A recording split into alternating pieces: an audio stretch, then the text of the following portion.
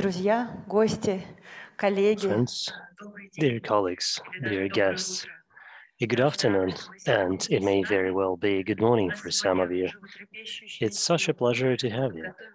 We have an extremely important topic to discuss with you, and we do have a very packed agenda. It is very well known that the subject of science art and technology art is coming to the fore of public attention, you know, new projects keep coming around and new programs on those matters are being launched by various tertiary education institutions. Our very life, not just art, is changing. And we have initiated this symposium to have a proper discussion with the leading experts in the science art field, with the people you know who know everything there is to know about it, people who have pioneered science art, both abroad and in Russia, we have our guests with us today, and we are particularly grateful to those who have, you know, decided to fly here from wherever they were. Please note that it's a hybrid event, meaning that people are watching us online, and we also have people in attendance here physically. This symposium is run in two languages, and we actually have a simultaneous interpretation equipment provided and we have a, a pretty good interpreter helping us. So please, you know, buckle up. There will be a lot of discussions today in Russian as well as English. I see that nobody needs interpretation equipment. Well, maybe that's a good sign. In any case, we are going to spend the day structured in three different sessions if you like, it will be a brainstorm in three parts. And the first part will be about the transformation and the new roles in the science art field, about new meanings, new sense making, if you like. And we are going to hear it all from the main players in this particular field. So we are going to discuss it. And I guess it will be a very, very rich discussion it is a conscious choice that we're not going to have many presentations. It will be primarily a discussion. So people in the audience here today physically and people online, please send in your comments to make it an even better discussion. The second part will center around the new elements exhibition, the new one that we have. And it's actually more than an exhibition because we are looking in this particular exhibition for new elemental beginnings, if you like. And there are lots of different things there, such as analog computation and what have you. But the big idea is that we have invited scientists, technologists, philosophers, and artists. And, you know, with the benefit of this rich, multi-faceted perspectives, we should be able to learn more about the subjects being depicted. A good artist always wants to immerse herself in what she is doing, and we will be talking today about transformation of technological art and discovery of new meanings.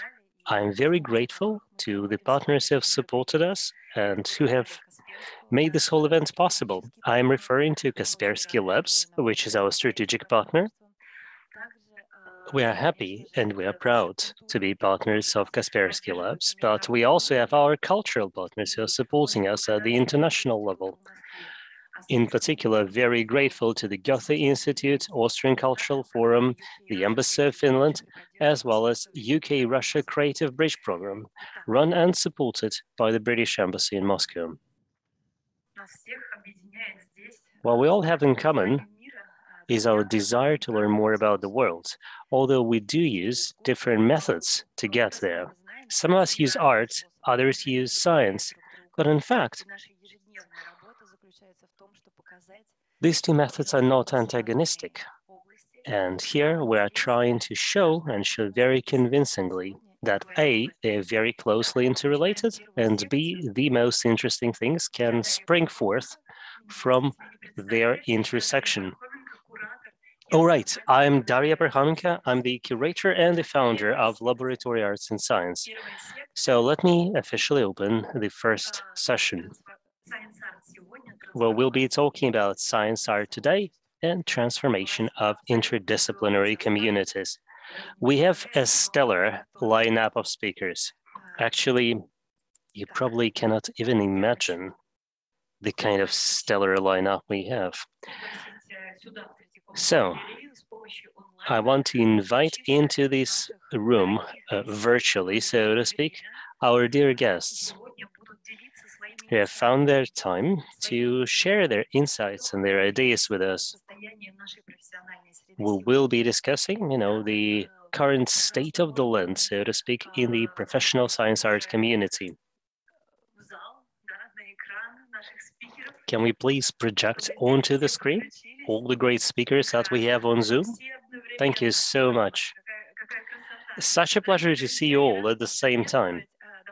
Dear friends, I'm delighted to see you all.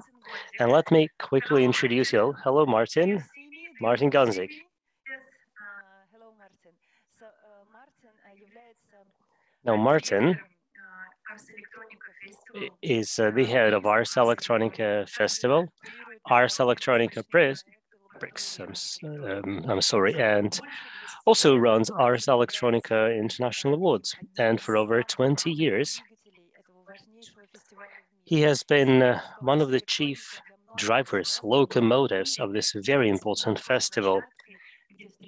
I'm very much aware that for many people listening to us today, Ars Electronica is the most inspirational forum because it is the forum where so many great new ideas get hatched, so many new ideas get swapped. So Martin, thank you so much for finding the time for us today. And then Yuri, hello there. So Yuri is a curator and the founder of Kapelica Gallery in Ljubljana, Slovenia, and it's actually one of the most radical galleries in the world. You know, way before new trends and new tendencies get hatched, Yuri, together with his artists, weaves the fabric of what's going to happen soon. So he's at the very bleeding frontier of whatever is happening in the world. I'm also delighted to give you Daria Mille, and Daria is a curator and a researcher at ZKM, and ZKM is one of the most influential museums in technology art located in Karlsruhe. So she's a researcher and a curator as well, and one of her latest globally reaching projects, so to speak.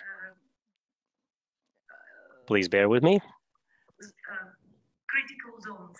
It's called Critical Zones. So it's a privilege and a pleasure to have Daria with us. Thank you very much for finding the time. Next, we have Orkan. Good morning, Orkan. I realize it's very early in the US.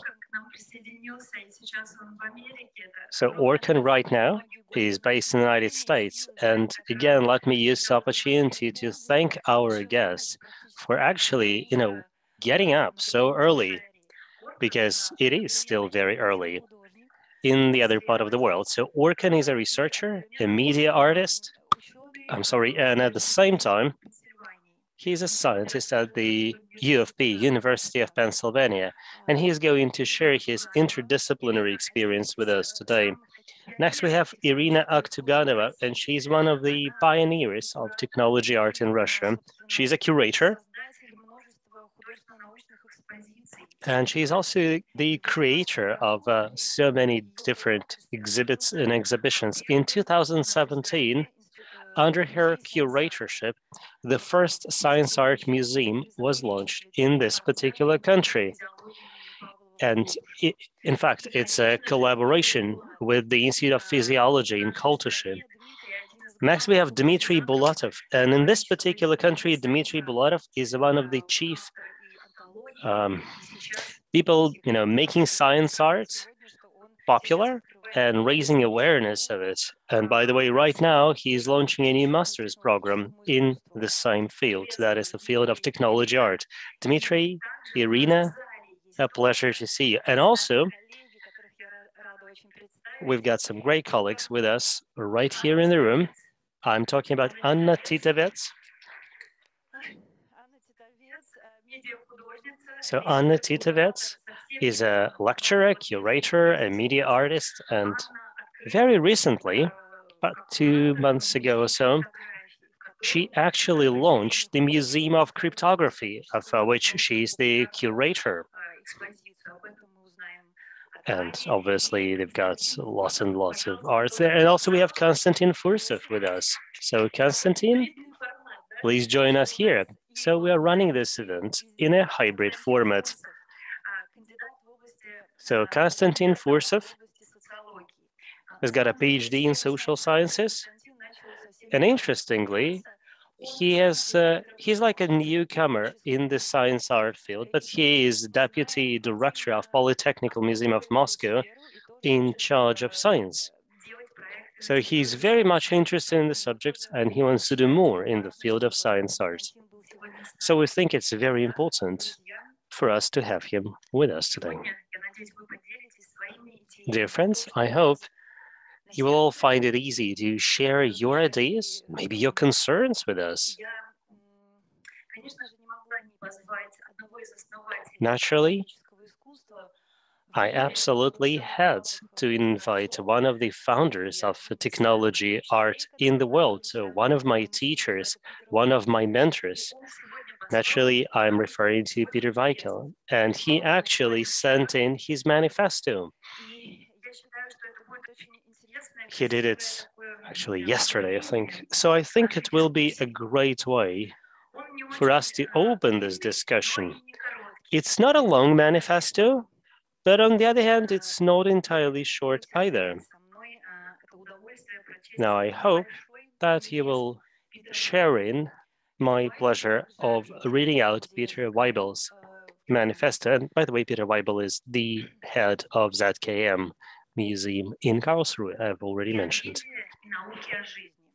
Biomedia and Life Sciences, so we're starting the manifesto. 30 years ago, in 1993, I sketched a future for art that can no longer be evaded in the years 2020-2022 when a virus held the attention of all humanity captive because it threatened the earth-spanning human chain of life. The project of the life of human beings, their coexistence, as well as their biological survival, has been questioned in a radical way as rarely before. After the success of the expansion of the visible horizon, I'm sorry, after the success of the expeditions into space and the rocket and satellite supported expansion of the visible horizon into the galaxies, there is orbital view, the view upwards, the view was forced to turn downwards in these years towards Earth. This terrestrial view has turned from clusters of galaxies to clusters of molecules from the largest possible to the smallest possible bodies, such as viruses and bacteria. They're invaders of our bodies, but also co-inhabitants of our bodies and determine life and death. From these co-inhabitants, we learn that we ourselves are only co-inhabitants of the Earth, and that other co-inhabitants, from plants to animals, also decide about our life on Earth. In any case, we humans do not decide alone about our survival on planet Earth. Thus, we turned from guardians of the galaxy to guardians of Gaia. With life at risk, life sciences moved to center stage, and specifically new forms of life science that study not only natural organic materials, but also inorganic artificial building blocks of life. Computer simulations and models thus play a crucial role from computational neurology to molecular biology. Creating processes of life from non-living elements is a primary goal. For example, artificial beings with life-like behavior an essential role in this context. I'm sorry, a further development of the cybernetic system theory will play an essential role in this context. After all, system means interdependence of all elements. Thus, the functionality of the system can be increased, whether we're talking about the Earth system or the system of human organs, whether the heart or the brain, non-functioning particles can be subsidized. This further development of the system theory is called network thinking. Thus, in the future, diseases will no longer be named after organs, since they manifest only symptoms of the disease. The cause of too high blood pressure doesn't lie in the organ of the heart, but is the effect of several system defects. In this sense, Life is to be imagined as a network, and a new form of life sciences will further develop the seven fields I listed back in 1993. Evolutionary art, biogenetic art, genetic engineering, algorithmic art, robotics, virtual beings, and artificial life. These technical networks and systems supported by AI and big data will expand the life sciences from natural to artificial, from organic to non-organic, and create new forms of media systems, the biomedia. The 19th century was the era of machine motion, 20th century, the era of motion media like movies. The illusion of motion was the first step to the imitation of life. And the 21st century will be the century of biomedia, which shows a life-like behavior.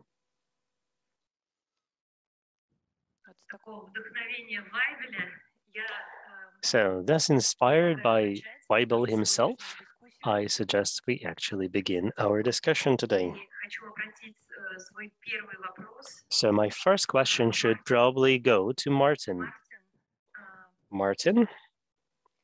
Please tell us uh, about your ideas, about the transformations and new senses that you see in our sphere. Because you are absolutely a leader in all, all these uh, directions on techno art, science art, and all different intersections between different spheres. About your ideas, about the transformations and new senses that you see in our sphere.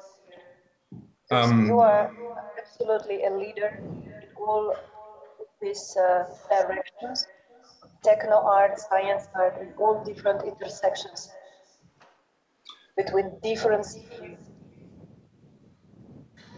Yeah, first of all, um, when it is me now. Hello, everybody. Good morning. Uh, good morning to the Holy Round, uh, where I'm honored to join. And thanks for this uh, invitation. Um, and thanks, Peter Weibel, um, to put a little bit of weight to us.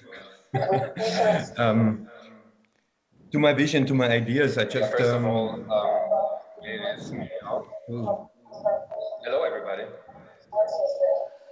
Good morning. Uh, good morning to the Holy Round, uh, where I'm honored to join. And thanks for this uh, invitation.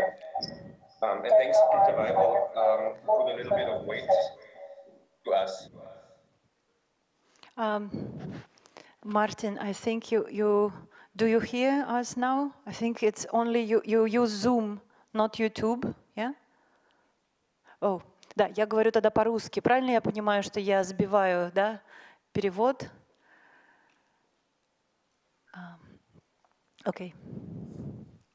I'm, I'm sorry, Martin, that it was, we, we heard ourselves. Do you hear us now? I think it's only you, you use Zoom, not YouTube, yeah?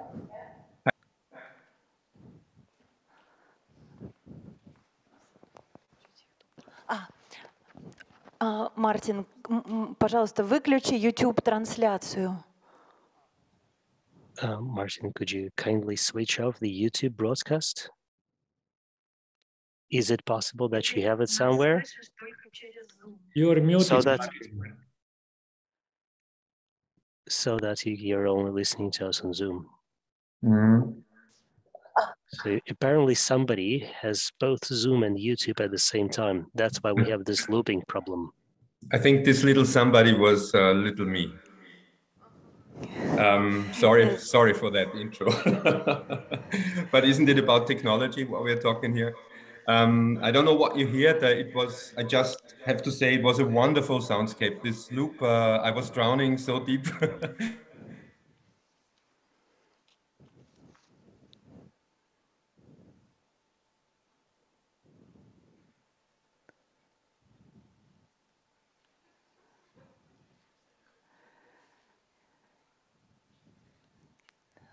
Техническая команда we seem to have lost you in a totally different way now, Martin.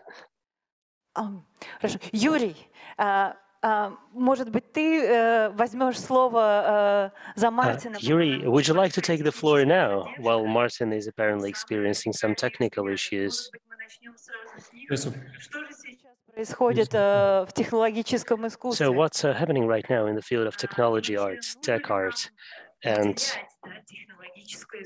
well, um, yes, I hope uh, this looping problem will will not continue because it's uh, super difficult to understand uh, whether you are listening to me or uh, there is a delay that uh, um, um, that is overlapping o- over my voice.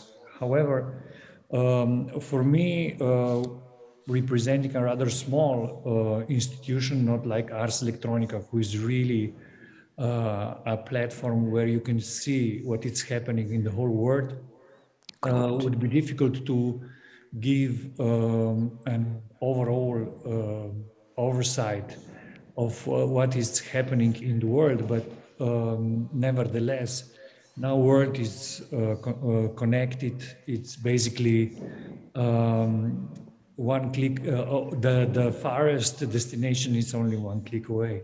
So um, I mean, in sense of communication and in sense of knowing what is going on. Um, right now, I believe, as uh, Peter Weibel said in his uh, letter, um, we are living in a uh, society that is uh, saturated with uh, all kind of technologies, not just digital, and um, we need to develop a certain level of literacy, technological literacy, that it's very important to understand um, what is the um, uh, time we are living we are living in. Um, in the art fields, uh, working with artists as the most sensitive uh, individuals in this world, we are, so to say, kind of 10, maybe even 15 years ahead of what it's uh, the common belief of uh, the state of the art of um, cohabitation with technology. Because the artists uh, start investigating the possibility the possibility of um, living together with uh, technology in a critical way like really really soon so uh, from the uh, art perspective um, what is happening today in the form of connectivity being everything being digitalized is not something new. Um, however, um, it is mm, not a good satisfaction just knowing that since we can observe how the societies are struggling with with uh, that with understanding um, how the technology can empower them and how they should use the technology and not technology that it's using them so it's still uh, in retroaction, we still have to do a lot of work uh, to achieve this certain level of literacy. But on the other, uh, on the other side, it's um, we are living in the century of biotechnologies, and um, all these living systems that artists are investigating right now, and all these hybrid realities that they are creating between um, humans and animals, humans and plants, humans and machine, machines and plants, machines and animals, all these kind of connections are uh, nowadays in the focus of uh, the avant-garde artistic productions, which is bringing in front a so-called post-humanistic understanding of um, um, actually it's bringing in front the post-humanistic need to understand a world as connected, as uh, overlaid and saturated with all kind of organisms um, that we need to understand not uh, hierarchically, like humans on top and everything uh, else subordinated, but somehow interconnected in the same horizontal uh, more or less horizontal uh, horizontal level. Nowadays, this is not um, understood as um, uh, as a naturalistic approach to um, uh, to our society because um, sciences, these life sciences, empowered us with um, immense knowledge uh, nowadays and also with immense uh, responsibility of how we are intervening with uh, uh living organ, other living organisms. But that, in the same way, it's also opening a myriad of questions that we need to answer to. And I believe that uh, artists collaborating with scientists, engineers, and also other experts, uh, being on the forefront of these uh, questions, are super important to hear. Спасибо, Юрий. Thank you. Uh, Martin. Uh, yes, thank you very much, Yuri. Martin, are you there? Are you with us?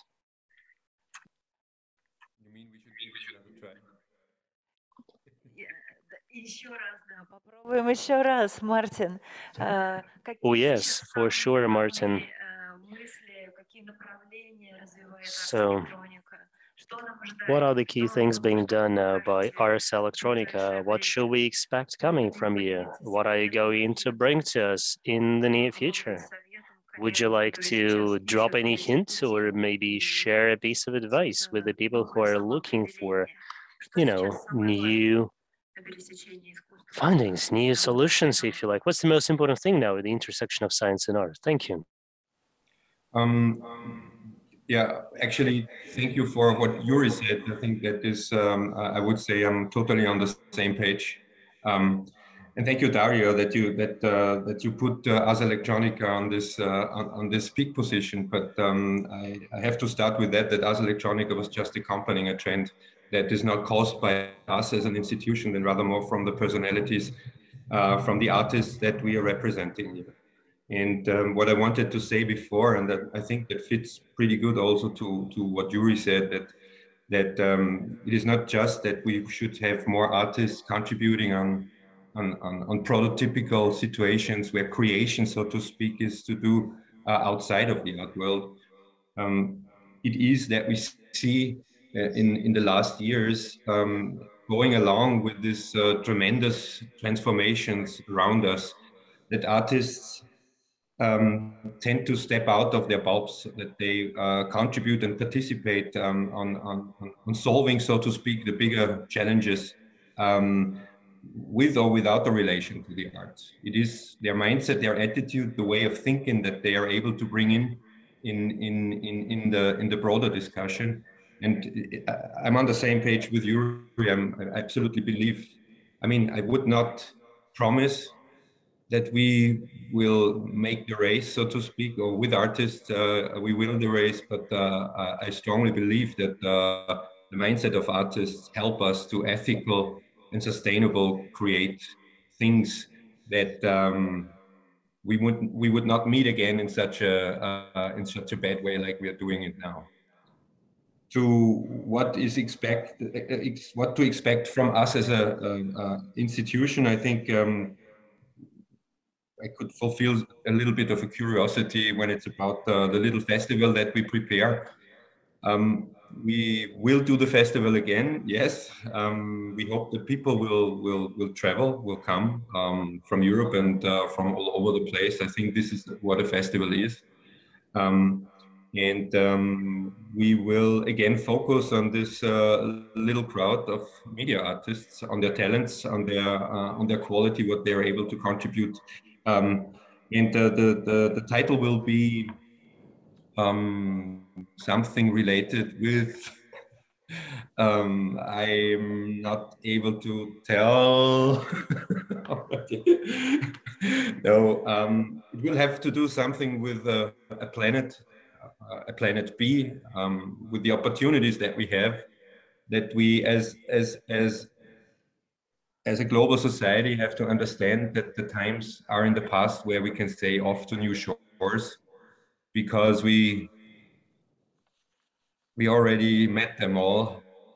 So there are no shores anymore. We have to deal with those uh, that we have and with the things that we left. And that is challenging enough. And uh, the festival will deal about uh, that. Uh, we will see a lot of alternative methods, um, life forms, where uh, a set of values is set on a total different uh, uh, ground, um, not on the ground of the current econom- economical systems that is that is um, chasing us, so to speak, in this disaster situation, from my point of view. Um, and um, we will also see what artists are able to show and to contribute there. Спасибо, Мартин, за такое целостное представление. Я бы, конечно, хотела услышать еще какие-то секреты.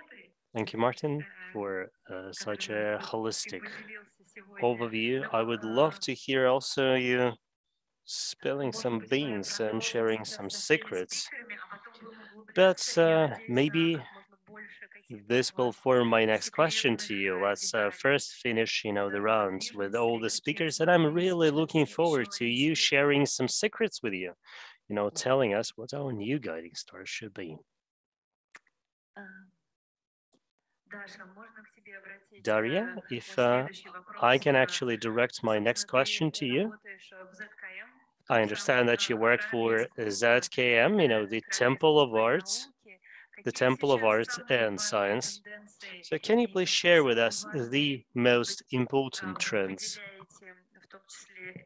What is it that you consider particularly important in the field of art and how can, you know, technology art impact the society? How can it shape the society? What are the most important objectives for ZKM today? Thank you. Yes, uh, hello, and first of all, thank you very much for this invitation. I'm very honored to be here in this round. And it was also quite a surprise uh, that you opened the conference uh, by uh, the manifesto by Peter Weibel, because uh, of course we uh, work very close and together, and the program of the ZKM is shaped by his thinking as well. So I can just also confirm what has been said here already by Yuri and Martin that uh, basically also this uh, shift to the earthly perspective, to the perspective of interconnectedness of uh, all the life forms uh, is essential today for artists also. They think a lot about this and reflect it in their works. Um, and uh, of course, this shift is caused in some way also by the ecological crisis that we experience today. Uh, and by the corona crisis as well. Uh, and um, also in our uh, program uh, at the ZKM, uh, these lines uh, are very much uh, visible and can be observed because two years ago we had this project that was initiated by Bruno Latour, Critical Zones, that you also already um, mentioned. And it was exactly about how we can rethink the world today, how we can rethink, uh, shift the perspective and um, shift the perspective from extractivism into more uh, interconnected and involved, uh, engaged attitude to the uh, world we live in, and how we can rethink uh, what was called nature in uh, more. Um, yeah, uh, in terms, um, in interdisciplinary terms, and uh, more as a view from within uh, this critical zone and not outside, uh, being outside of um, the world we live in. And this is something that artists uh, are very up to now. And um, the next step uh, was also for the ZKM to explore how technological entities can also be included in these ecosystems that we speak in terms of the critical zone, for example, and Therefore, we uh, opened uh, uh, at the end of last year this project Biomedia, uh, and uh, Peter Weibel's manifesto was also very much about this, about uh, technology behaving as life and what is life today. How can we define life or like what is life like or what we think or project into the technology about our ideas of life uh, so this was the next step. And um, for the next year, uh, we are very much now busy with the preparations of uh, our next project. And uh, it's already a kind of bit longer discussion. And I have uh, here this um, Art Forum, Kunstforum magazine. sorry, you cannot see it quite well right now. it's called Leonardo im Labor. So Leonardo in the laboratory. Uh, and it's very much about uh, also coming back to uh, the ideas of scientification of art uh, that we experience not only in the Italian uh, Renaissance uh, in the previous centuries, but also in the uh, Arabic Renaissance uh, of the 9th to the 13th centuries. Um, so there will be a bit of historical retrospective into these um, ideas of scientification of art in the previous epochs. And also uh, we see like nowadays these trends that um, artists use the same uh, pool of uh, tools, so to speak, that uh, scientists uh, use, and uh, we think that this is something that, um, yeah, that shapes very much this field today. Um, of course, there cannot be like comparison one to one between uh, these different renaissances, but but uh, really the idea of using the same tool uh, set um, might unite uh, these different uh, epochs uh, with each other. And we understand, of course, tools as also creative tools as something that can. Um, um, yeah, uh, unite uh, art and uh, science and uh, used in a positive way also to, to shape a positive view on the future. Because we see nowadays that uh, there is a bit, um, well, not bit, even much skepticism um, regarding uh, science. people don't believe anymore into scientific facts.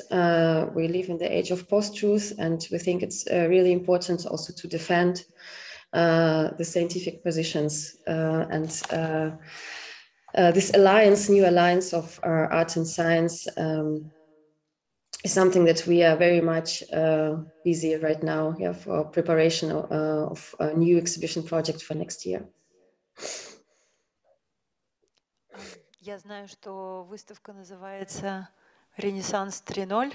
I know that this exhibition is called Renaissance 3.0, and I am very much aware that all of you have this highly conceptual ideas. Ideas that essentially change our perspective on technology art and science art. So I hope you will be able to share something, you know, very special and very sweet, something that you probably have never ever told anybody. Can you spill some beans on the Renaissance 3.0? Can you share some secrets with us if that's possible? Thank you. Uh, sorry, Daria, was it a question to me or like the question to... It's the question, uh, это вопрос для всех? Yes, that's a question to everybody, but apparently you can start because you are doing Renaissance 3.0 exhibition, aren't you? But if you want, I can first finish the rounds of questions for everybody and then go back to you if that works. Yeah, this works as well, sure. Так как все здесь э, спикеры, э, которые уже э, проявили свои позиции, все упоминают You must have noticed that all our speakers today have been talking about the environment. Everybody has mentioned in this or that way that art is becoming nature-oriented. And my next question will go to Orkan.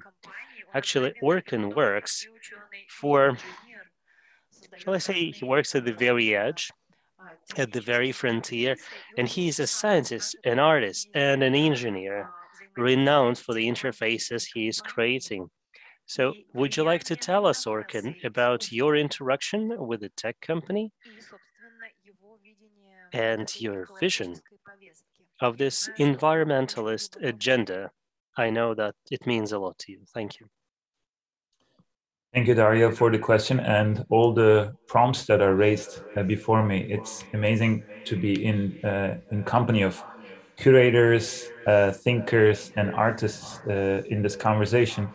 So, what I would like to offer is very few insights in terms of what does it mean to be an artist today, uh, the role of an artist today, in uh, in a planet that is on fire, an environment that's in crisis, not environment that is in, the, in, a, in a climatic crisis, but it's also in a social crisis, political crisis as well. It's it's very important to be an artist today, And it's very also important to understand what artists, what other roles can artists play in this in this complex ecosystem of uh, crises. So um, as uh, as Daria mentioned, I think there are many different epochs uh, where art, science, and technology came together.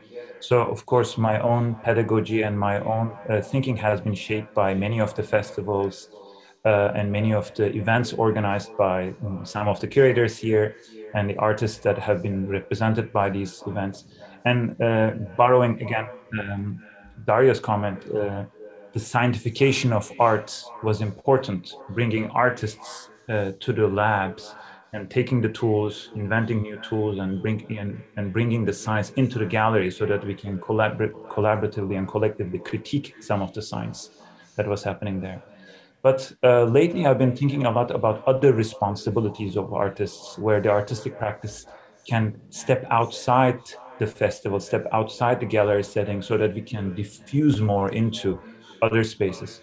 So my personal um, uh, perception of my self-reflection throughout the years make me think about myself as a, bit more like a performance artist who wears the hat of an engineer sometimes and goes and you know invents tools to be able to contribute to the practice of science so not only the work gets shown in a gallery uh, or an exhibition or a festival but also can be disseminated uh, throughout a company so what does it mean for the artist to be an entrepreneur and really make tools that you can really share in the practice of uh, art uh, or science.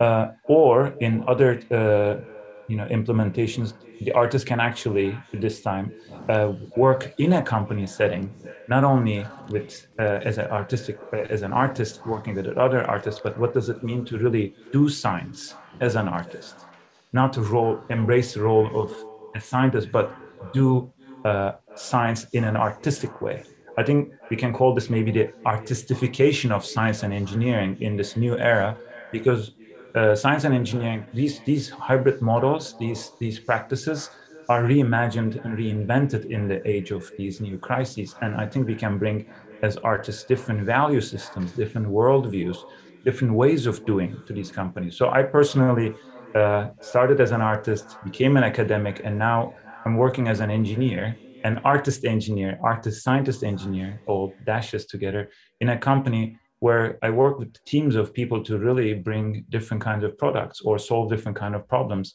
that can address some of these challenges that we are facing uh, in 21st century. So um, I'm going to keep it there. I have uh, images to show if anyone is interested in looking at the work in depth. But uh, I think if I summarize the first era, artistification of science, and maybe now, sorry, the scientification of art, and maybe now it's the artist, artistification of science and engineering where we can discuss and think together.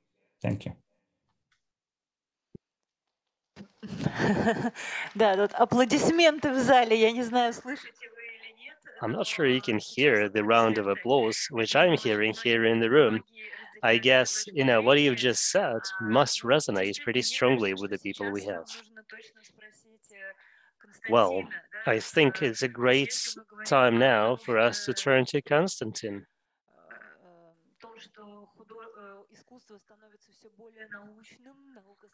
So if we claim that, you know, art is getting scientified and science is getting artified, so to speak,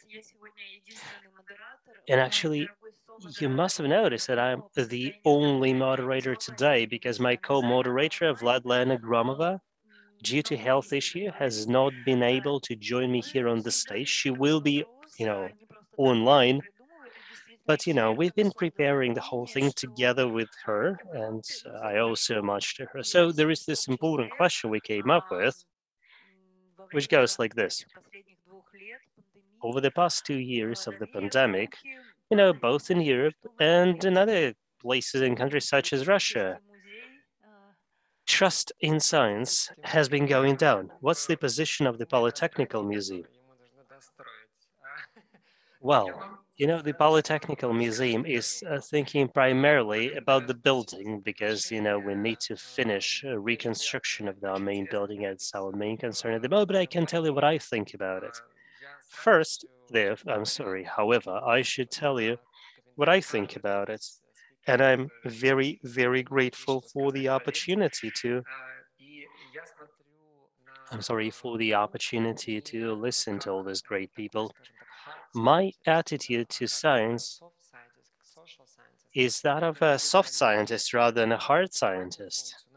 That is, I believe science has got uh, not just, you know, a discovery function to perform, but also a social service as well. Now you are talking about trust, and that's indeed a very delicate issue. If you check out statistics, you will discover, and actually, well, you will discover that the pandemic has played a role in that, but you know, every technological catastrophe would have had the same results. Remember Fukushima events. Society doesn't respond to a particular science and what happens, you know, in the scientific field, but it rather reacts to what's happening to a particular application of science. Please remember the ambivalence of, well, not of science really, but of uh, public attitude to science. It is perfectly possible for people to trust science at the same time with being afraid of science. Most people are used to cognitive dissonance. I do believe that science and various practices of art can help science actually dispel its image of uh, an ivory tower. The function of science is to discover answers and identify patterns. However, science is not very good at predicting how a particular discovery will be leveraged by the humankind going forward. Sometimes science doesn't know the applications of what, it's, what it finds. And art can be an extremely useful communication partner for science, because due to this unique synthesis, art will help science pose the right kind of questions. Well, fortunately, ethics has become part and parcel of pretty much every scientific study today. However, science remains pretty technocratic. Scientists try to be more attentive to matters of, uh, say, morality, but these issues still are not of, you know, paramount importance to them. You know, they still want to find answers. You know, they are looking for, say, new ways of storing or conveying energy, or maybe, say, developing or growing new valves in human hearts.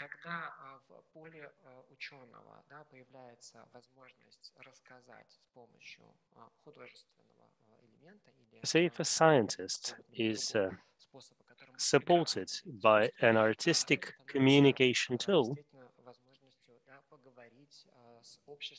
this is great news because it enables the society to get engaged in a dialogue about what the science can bring. And this makes me think of three elements where science and art can help each other. One element is pretty utilitarian and has been mentioned already, like science provides art with new technologies, you know, be it dyes, paints, uh, or AI, which is quite good at producing art today. Secondly, art can help science talk about scientific findings. There is, you know, a great uh, shall I say, project, annual project called Dance Your Dissertation. That's a great idea, you know, finding a very artistic way of conveying your scientific findings. And it also makes me think of uh, sci-fi novels, which have greatly impacted the technologies we use today. So there is this inspirational function of art towards science. And finally, there is a function I would call co-design. What I mean here is scientists and artists can get together to think about what can happen very soon. On the 8th of February, we launched a contest which resonates with what Martin does. We call it START, Science, Technology, Art. And we are very privileged to have Daria as one of the members of the jury. And we also have uh, one of the other participants of uh, this event as our curator. So as part of this project, we are going to run a live experiment.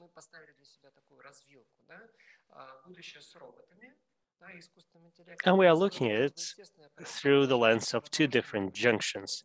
One is our future with robots, and the other one is a future where we are going to renounce all the benefits that this particular field of science can bring. What will our life be then like in 50 years' time? And it's not an idle question.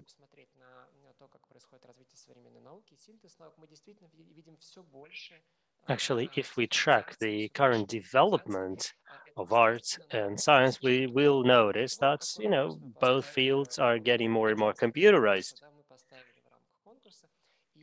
And saying no to computers may actually be a very dramatic change for the human society today. So this is one of the key challenges that we have for both scientists and artists, and we're really waiting for them to come up with something very interesting. Well, I do hope that art will not play a design function only. I certainly wanted to be involved in well, design, like there is design as in making the future happen, and there is design as in embellishment. So it's not the embellishment kind of function that I would love uh, this particular project to focus on. My next question will go to Irina. Irina, I know that you're currently working on a new methodology that you want scientists and artists to employ to create new knowledge. Would you like to share with us what it's all about? Yes, sure, and thank you very much for inviting me today. It could be a bit too much to call it a new methodology. However, I've been working with the Institute of Physiology named after academician Pavlov. It is the institute that does research in uh, neurophysiology, cognition, awareness. Well, it was actually founded by academician Pavlov, uh, the first Russian Nobel laureate. So for four years, we have been collaborating with them.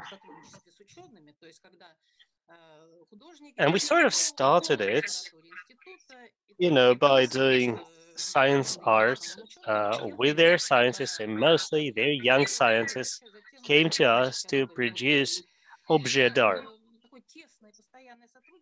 However, in this very close collaboration over these four years, we have realized that neither the scientists nor the artists were not really interested in producing artistic objects, even if it was great art.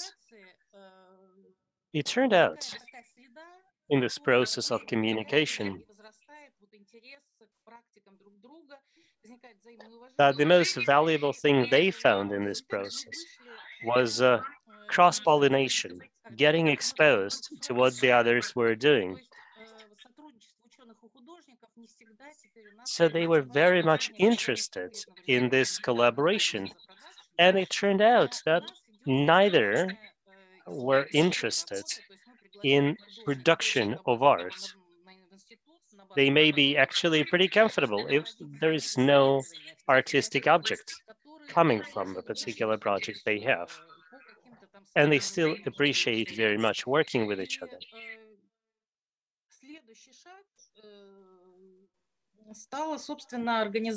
The next step for us involves the launch of a series of interdisciplinary research projects. Now, the idea of these projects was not to produce, you know, an artistic statement. Instead, these were indeed cross-disciplinary studies where usually artists actually play the first fiddle. You know, they were very instrumental in deciding what it is they were going to research together. So the two like a bigger group, relied on what the artist actually considers a particularly sore point. So artists and scientists collaborate on par, and the results can actually be both scientific and artistic.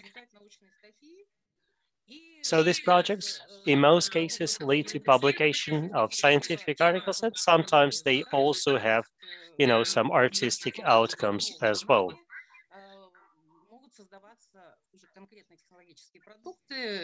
And sometimes, you know, on the basis of this new knowledge, new technological products can actually appear and, you know, can then be separated into spin-offs.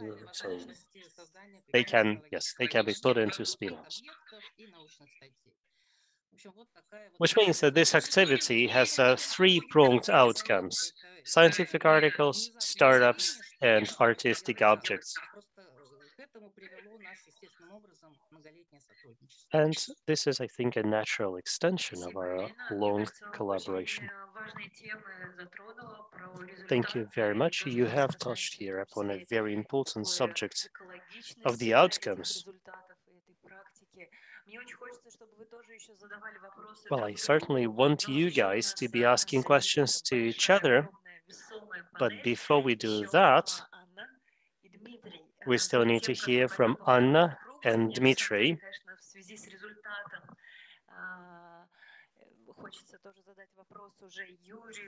And I also want to ask questions to Yuri and Martin, particularly know, about the outcomes of their projects. But first, I should go to Anna and Dmitry. So Anna has been working on this new fangled cryptography museum. And this museum is both heavy on science and art.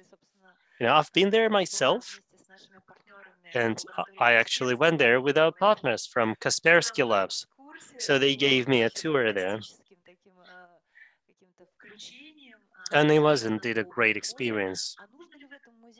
And I relished exposure to this new field. So I'm wondering if at, at a place like Cryptography Museum, you need to draw a distinction between art and science. Thank you very much for this question. And thank you very much for the invitation. It's indeed a great pleasure to be here today. It's such a great panel with these great people. It's a shame that, uh, you know, some of our great speakers are only online, that we cannot hug each other, but it's still such a pleasure to see you all. Yes, I feel a lot of, um, now let me put it differently. I certainly agree with many statements I heard earlier today here. What I want to emphasize is that we keep talking about positive practices of collaboration between scientists and artists. However, if you've been involved in such collaborations, you certainly know that it's uh, not necessarily a positive experience for both parties. What happens quite often is that, you know, as we want to interpret scientific knowledge from an artistic perspective, we will run into, well, quite substantial skepticism on the part of the scientific community. So we can talk a lot about, say, climbing to a new level, to a new level, and that would be true.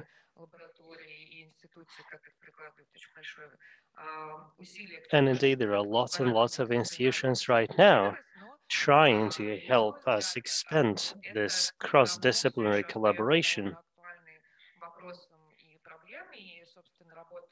However, what I've called a problem still remains. And as we've been developing this uh, cryptography museum, we experienced exactly that. You know, most of our exhibits are scientific, but some exhibits were more artistic and less scientific. Well, I'm an artist myself. I come from the world of media and art. And I've been trying to sort of reconceptualize many of the things we have at the museum through an artistic lens. But I also want to stress here today, as we're discussing this uh, lay of the land in the science art field, is that scientists are developing, you know, more and more interest in leveraging the opportunities provided by cultural institutions when they need to be heard, for example. So, for example, you've got a great team called Forensic Architecture at your exhibition. Now, forensic architecture, well, they are a great team. They are not artists. However, many of their projects get exhibited at museums and uh, galleries. And this makes me think of Vladnieli, which is effectively a research group, which again gets featured a lot at many festivals or cultural institutions. And this is something I consider quite interesting, that scientists now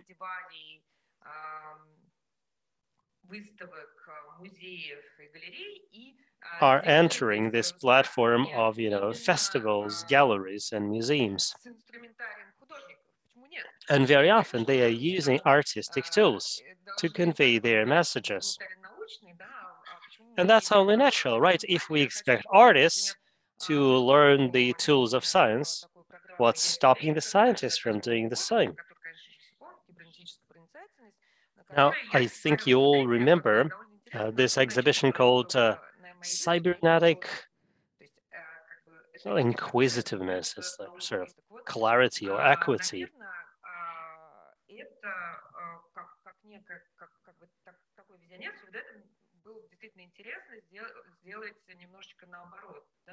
And I think that doing the opposite of this visionary approach would be great. I mean, it would be great to have scientists speak more and leverage more the fora of cultural institutions.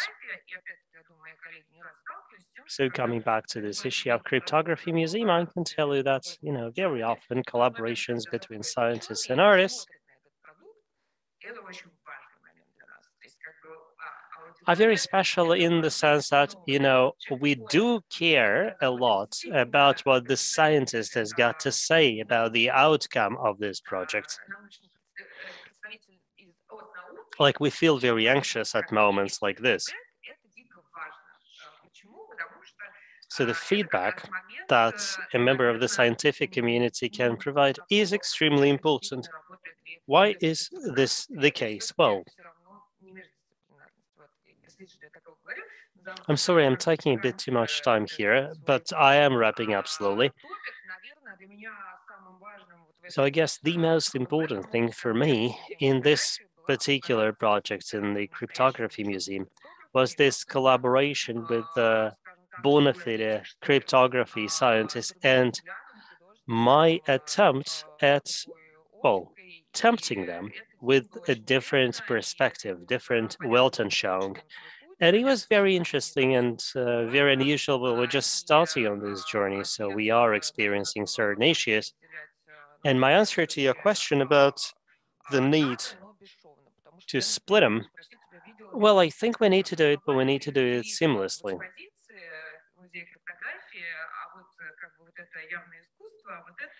Now, you've seen our exhibits.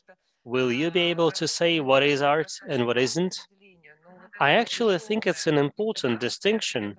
But if you have a seamless integration, and if, say, your art doesn't, you know, make any grandiose claims about it being scientifically true,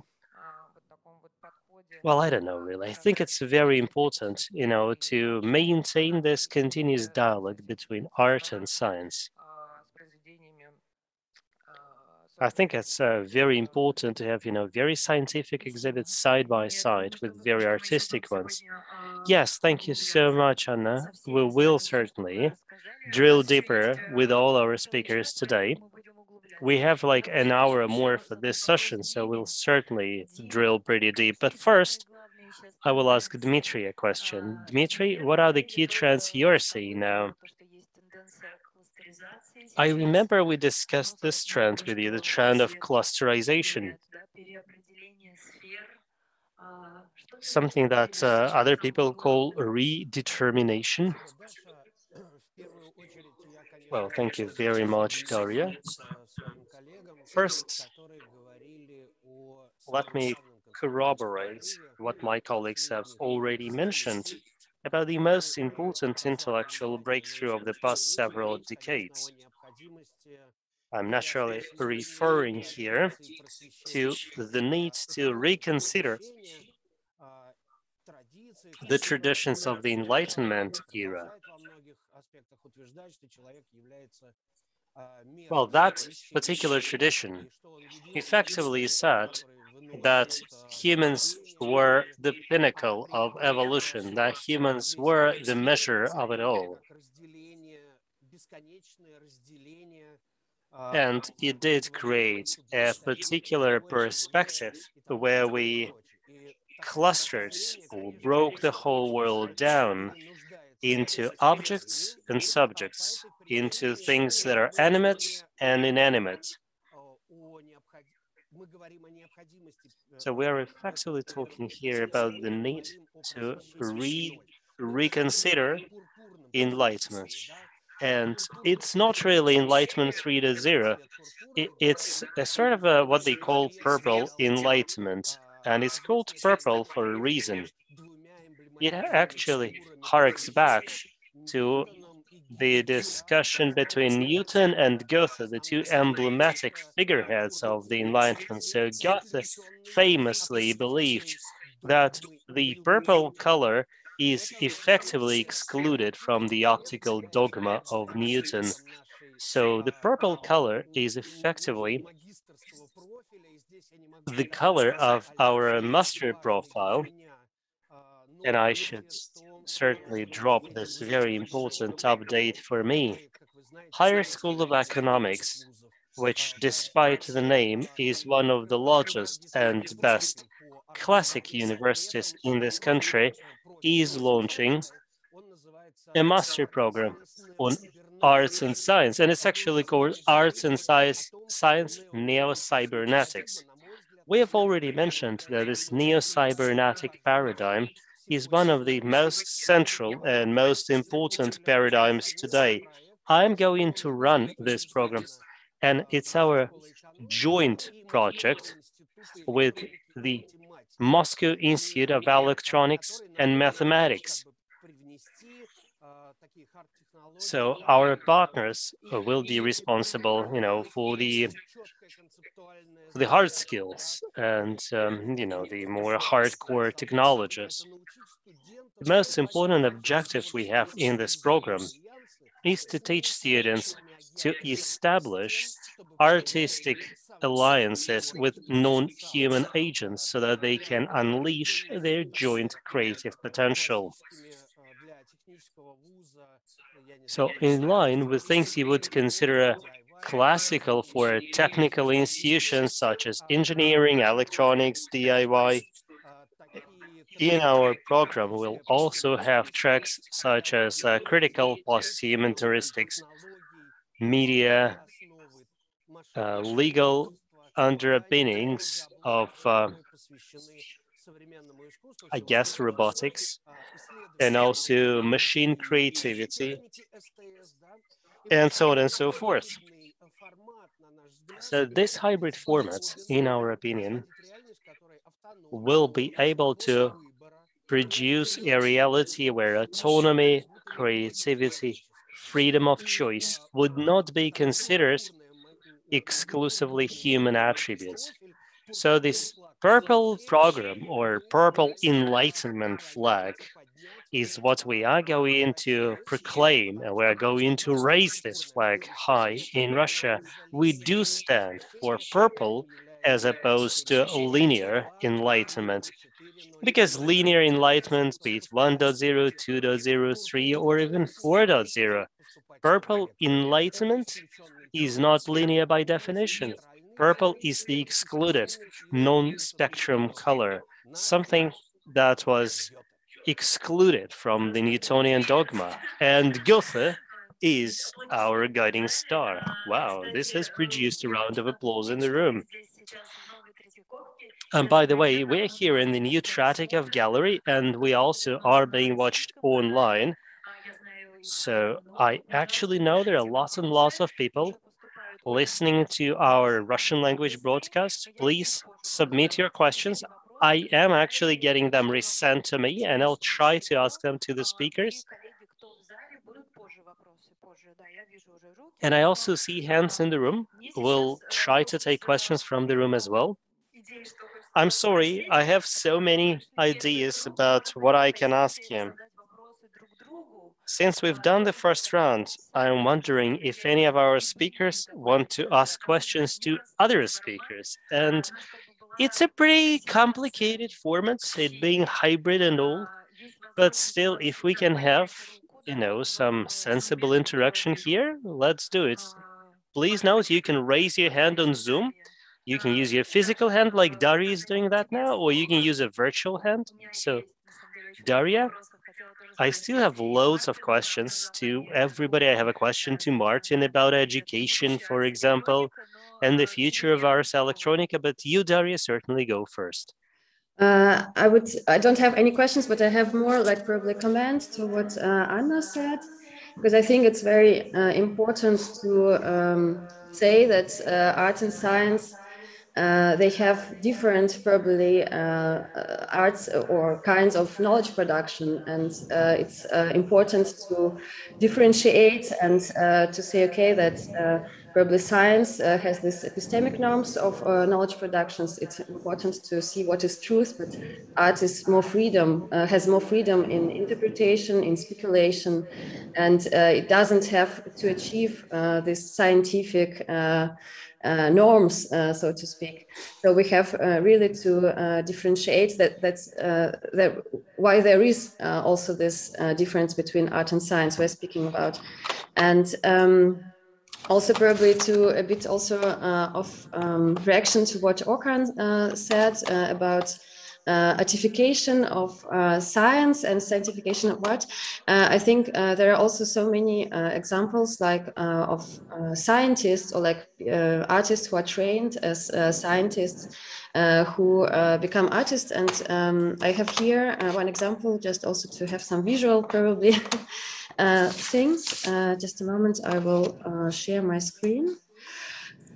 Um, I have here an example, uh, a work by Spela Petric. I think it was co-produced by uh, Kapelica Gallery and uh, also shown at uh, Electronica. So it's like kind of work that probably speaks to uh, all of us by the um, artist uh, Spela Petric. And uh, is um, trained as a biologist and has also a PhD in biology. And this art, artwork is called Play or PLAI. So it's a pen uh, um, about play with AI. Um, and it also speaks about what uh, Dmitry said uh, about uh, non-human um, forms or like non-human uh, communication also because there is a, a, plant, cucumber plant here and uh, AI robots that are interacting without human intervention. Uh, and uh, it's uh, important that they are learning from each other and AI system is trained not on uh, on human uh, brain, uh, so to speak, model, but on the interaction with the plant. So it's a system that is um, trying to um, yeah, to create new form intelligence uh, based on non-human intelligence. And I think this is something that also uh, artists are uh, now very um, into, like um, into research and um, uh, thinking about uh, non-human forms of uh, interaction, of intelligence, and of being, so to speak. Yeah. and also, of course, um, the sorry, I have to uh, finish here. Um, yeah, so um, just just a little comment, yeah. Спасибо большое, Даша. Как раз Шпела Петрич – это воспитанница Юрия Thank you very much. And indeed, Spela Petric, you know, uh, she is uh, she's been supported very much by Yuri and so many Slovenian artists now are extremely popular around the world and Kapelica Gallery has played a very important role in that. This is something that we recently discussed with Yuri. Spela Petric is an artist who is both a scientist and an artist because you know she's doing biology, she's doing genetics, but she's equally at home in the world of art. Yuri, if I can turn to you now, what is the current understanding, so to speak? Or let me put it differently. Can we assume now that science art and technology arts are ceasing to be marginal and they can now be actually seen as art? Do you believe that we need this kind of segregation? Do we need to pin ourselves to a particular segment of the art field? What's the current situation according to you? Thank you. And uh, naturally, I should mention here that Yuri has impacted Slovenian artists, but not just Slovenian artists. I know that Vitol, Alena Nikonov, and many other artists are watching us today, and they all know that th their art will be elevated to new heights with Kapelica Gallery. Yuri? Yes, thank you. Um, thank you for this question. Also, thank you for these credits. No, just uh, to comment on on Spela. Indeed, she was trained as a biochemist, and she is holding a PhD in biochemistry. But then she decided to work as an artist because uh, the development of ideas through the uh, art practices, uh, she found them like more more compelling. You know? And I see this, uh, her case and also case of other uh, scientists that are working and collaborating with artists in Kapelica and our laboratories as uh, symptomatic for the state, uh, for the situation of uh, the whole globe uh, these days. And as Orkan mentioned before, we are living on a planet that is in fire, literally and metaphorically as well. And um, nowadays we have to see um, um, artists, scientists, engineers, also other uh, researchers and creatives uh, no more uh, disciplinary. You know, uh, we shouldn't understand uh, this as a single professions because uh, reality demands from us different, different way of understanding um, of reality we are living in. So uh, uh, right now, it not that we may live in very interesting times, as the curator of the Biennale in Venice said, we are living in very interesting times where nothing is sure anymore. Uh, we shouldn't be um, sure of anything we know uh, uh, so far because um, uh, the, rea- the reality somehow precedes us. It's in front of us, and we need uh, we need to take pace uh, with it, not with the old way of thinking or the established way of thinking, but with uh, kind of new way of thinking that it's not disciplinary anymore.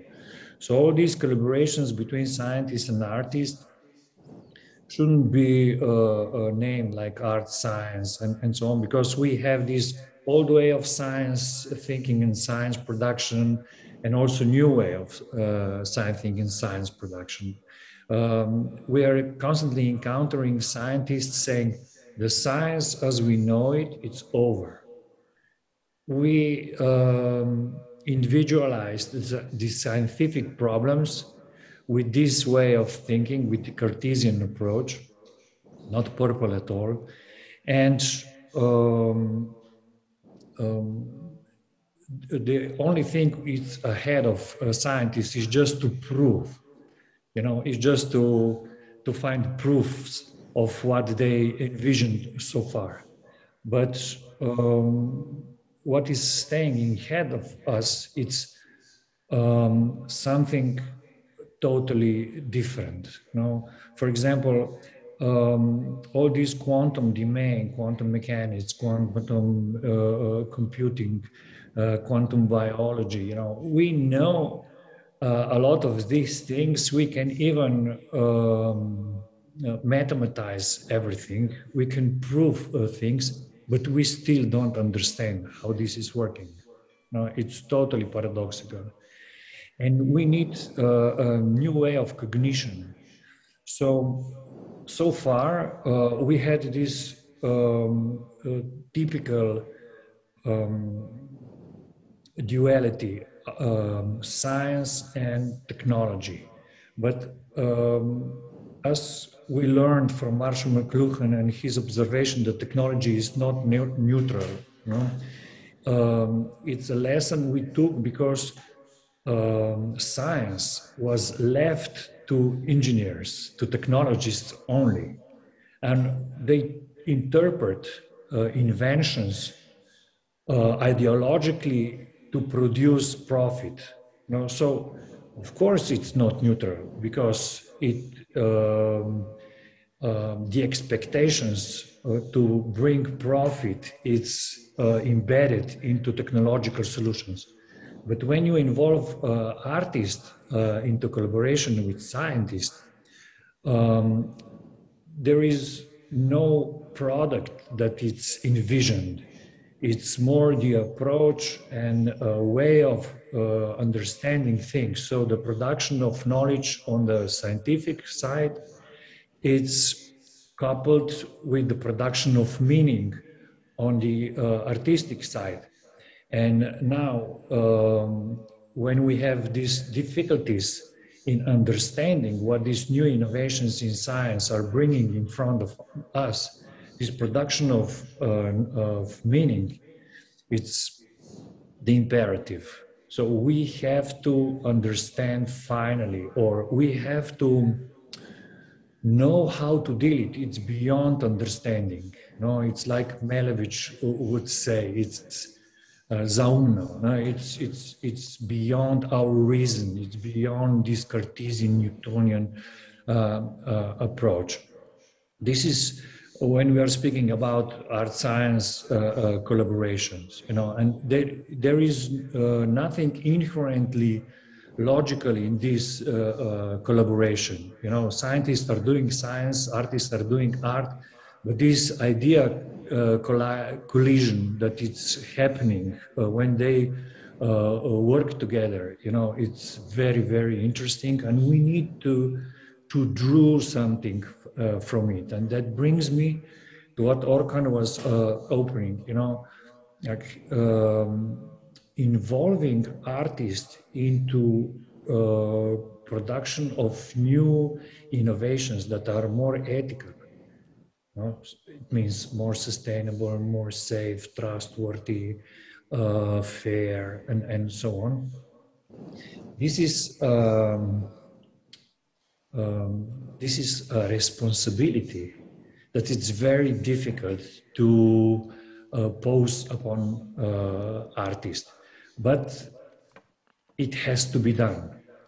So uh, I see this uh, collaboration between uh, artists and uh, innovators from different domains, from different professions, as something that we call um, um, innovation catalysis. So we are trying to bring a new profile that it's not harmful neither for artists, neither for scientists, neither for engineers, but it's a profile, it's a, it's a person that is responsible for innovation catalysis, and this innovation catalyst should, should understand these different languages and should know how to deal with this uncertainty, with this unknown unknown. He needs or she needs to know to embrace this uh, openness, this radical, unstructured openness. Um, in order to um, instigate new way of of uh, uh, uh, speculating, of thinking, of um, of cognition and of um, um, it's very difficult to find a, a, a, word, you know, and not fall uh, in something that uh, it's um, already ideal, ideologized. Uh, um, um and um, maybe this uh, metaphor of purple thinking it's very appropriate here, you know, because it's uh, now maybe open to um, um, to attribute new meanings uh, uh, uh, of the word, of the, the, of the, yeah, of the combination of letters. Per, know? So um, um, what I believe uh, uh, here is that uh, um, more than ever, this non-linear approach to things is necessary because everything else it's linear. You know, the scientific development of syntagma, of, of uh, thinking, and so on, it's linear. Uh, the, the technological as well. Only artists are coming, you know, with the holistic approach, with a total unstructured um, uh, and non-linear uh, way of uh, delving into into different uh, questions, different observations, different uh, phenomena. And right now, right now, maybe last uh, five years in Kapelica, we've seen that uh, these uh, small consortiums of, of experts, of collaborators coming from different fields, are creating new tools to convey um, meaning. So it's Mm, and also new methods. So uh, when you see an, an, artistic installation, you need uh, to involve yourself uh, into um, not only inter uh, interactive uh, uh, um, interactivity. this participatory approach it's a little bit different. You, you, sometimes you don't need to touch because you will spoil the organism that it's living there. You know, but you would need to use different um, biotechnological or um, evolutional uh, uh, uh, approaches and to monitor, to, to, to interfere with this drama of uh, microperformativity and this molecular, molecular sculpturing, these things that, you, that are totally not spectacular, but um, um, the, the drama of living uh, uh, organism and of life as an object is there you know? And and um, uh, it's not that only engineers and scientists uh, are in need to um, different approaches. Also in art we see this need you know to to a non-spectacular um, art uh, representation of art uh, thinking and art uh, um,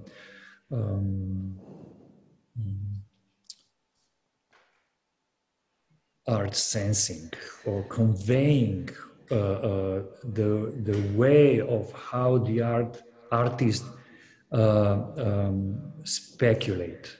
So to, to, to abandon the use of thinking because thinking is so much uh, related to brain and to uh, cognitive, uh, these classical cognitive practices. Thank you. Спасибо огромное, Юрий. Э, э, мне хочется спросить Оркана, э, может ли он добавить про вот это разделение, есть ли все-таки это разделение, как он к нему относится. И, собственно, Юрий сейчас упоминал, что So I'm sorry, Orkan, uh, I would like to turn to you now. So uh, I do feel like I'm a catalyst or an interpreter between the two worlds, uh, you know, being a curator. Would you relate to that, Orkan? Thank you very much. Um, is the is the question mainly like me me uh, understanding the role of the curator in the uh, in the interpretation process, Daria? Can you phrase it one more time? I didn't catch. very well. Uh, yes, I want. Um, uh, я хотела спросить про разделение между дисциплинами. No, the question is uh, primarily about the distinction this you know this um, binary view of like science and arts the importance of uh, the boundary between them you know the fluidity if you like of possible transitions between these two worlds and the other trends in fact that you mentioned in your previous address can we Yeah, drill I- a bit deeper now thank you Yes, I think um, um, I, I would like to drill a little bit deeper because um, looking everyone's comments, you know, how they expanded our way of thinking about this binary. Uh, I would like to focus on this word responsibility one more time. What is our responsibility today in these urgencies that we are experiencing? And I would like to also bring into our attention that art, science, engineering, these are disciplines that we are uh, interrogating. We are trying to find new definitions, meanings for them in 21st century uh, in, in, in, in light of these urgencies we are experiencing. But on the other hand, we have as humans in this, uh, in this planet, uh, we have different roles. We are mothers, fathers, teachers, farmers, caregivers, citizens. We, we have very different identities that are under the rubric of being an artist, scientist, or an engineer. So, what does it mean for us to really embrace these high level roles, whether it's pedagogy or education? So, we are an artist, but we are also an artist mother, or a scientist father, or a citizen uh, politician. You know, we have these very different hybrid modalities. So, I would like to invite us, I would like to invite all of us to think also what does it mean to think about the, these fields in relationship to our everyday identities so that when we feel these urgencies in, in our daily life i mean we we suffer from discrimination we deal with pollution um, we look at um, you know we, we, we racism on every level is their capitalism creates all kinds of inequalities so we experience these uh, pressures on our everyday identities in very different ways so, what does it mean then to look one step up and say, okay, if I'm an artist, how do I deal with them? How do I, you know, bring that uh, urgency into my practice? Where can I make more impact? Is my impact in uh, at at home when I'm talking to my children? Is it about me being a teacher telling uh, about art and science in the classroom, or is it really like working at the farm, factory? uh, or, a, or in a gallery. So I think maybe we can expand a little bit on the art and science um, dilemma, uh, dilemma uh, or the polemic of how do we uh, bring them together, as Jurij mentioned, uh, not as disciplinary confinements, not as silos of knowledge uh, production, but more like roles and responsibilities that can enable us in the challenges that we deal with every day. Спасибо, Оркан. Э, Мартин, э, какие, новые форматы? Thank you, Orkan. Uh, Martin, a question to you. What are the new formats you are programming in order to cope with this uh, global emergencies that Orkan has mentioned a number of times already? And uh, naturally, Peter Weibel also talks a lot about them. Indeed, we'll live in those radically new times when changes and crisis have become very prominent, not just for the world of art, but the whole world. Mm. So, a question to you, Martin. How does Ars Electronica and how do you, as a visionary and an artist, see our opportunities and our capabilities as curators, producers, artists, all those who impact the minds? How do you think we can interact differently? What are the new formats we can use? What are the new things we can develop? Thank you. Um, I actually don't, thank you for this question. I actually don't know what the new things are. Uh, it sounds for me too too trendy in its formulation. To to that it would be the next trend, and we jump up as a society. Um, I, I see just um, reflecting this entire situation is that uh, I tend to observe this entire situation much more from a citizen's perspective than I used to do this from a, prof- a perspective of, as you called me, visionary, uh, professional so. Um, and um, this is due to the fact that um, I also see, like uh, Jurij and Orkan, um, that the situation changed. I mean, since a few years before, we were sitting here saying, okay, we are a little bit in advance, but we see the disaster coming. Now we are in a situation where this disaster came in a different form and quicker and earlier uh, than before. That, from my point of view, provokes me a little bit that we are sitting here in the in, in, in the truffle butter, um, um, discussing whether we should kind of uh, shift the borders between uh, uh, arts and uh, science a little bit forward, a little bit backwards. I think if we are if we are uh, wasting much more time on that, uh, we are losing the train. And it's not about talking about art anymore, about the, the, what art is good for, what art could uh, deliver or participate. No, um, uh, it's it's just about that this entire thing that we have been building up as a culture is disappearing. Um, um, so the new thing, what we desperately need, is uh, uh, a culture, a new culture of collaboration. It is, it is a new intelligence that shows us um, better where we, what we are doing with these technologies, where we want them to position, uh, um, um, to really make that happen. That at one time, maybe as a as a global common, we are able to move something forward or in the right direction. But to be realistic what has to happen if uh, a global society is really, literally able to, in a common sense, um, solve a problem? I mean, tell me one sample when that happened. What has to happen? What, uh, what kind of shift and transformations need to happen that we, in a democratic way, convince the citizens to, to, to, to, to think, to change their own concept and not to wait that the others uh, change this before. This is much more what is driving me, and this is also much more what I'm looking in, in, in the art that is currently around me and that, that, that will be around me. I'm looking for citizens um, that are artists, that are um, uh, scientists, uh, uh, that that all that all want that all do see um, the tremendous challenge that we have in front of us um, and um, I think the word is collaboration and responsibility. This is uh, what keeps us, so to speak, in the now, um, uh, keeps us being willing to, to, to, to go to, to go further and deeper in collaborations. Um, because the concept of uh, uncertainty is, is something that we see. I mean, that's simply said too much for us.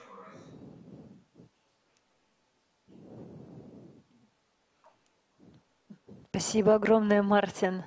Uh, хотите ли вы, коллеги, друг другу задать какие-то вопросы? Thank you so much, Martin. I'm checking if anybody would like to ask questions to each other. I understand that Daria wanted to have a question to Anna.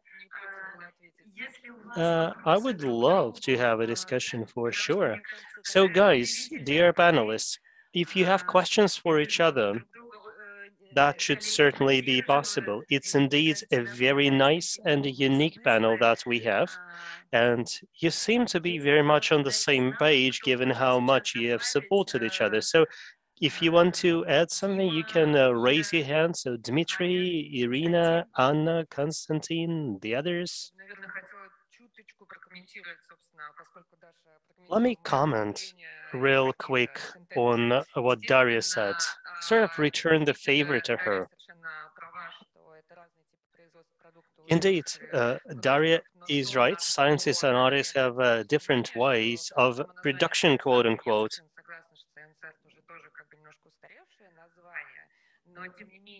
And I do agree that this moniker, this um, name of uh, science art is a bit outdated.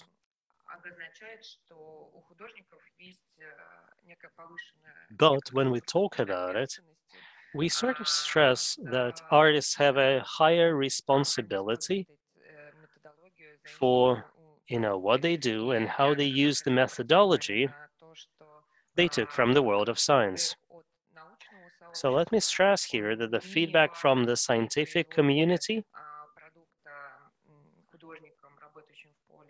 is as important for an artist working in the field of science art as the feedback from the artistic community or the general public.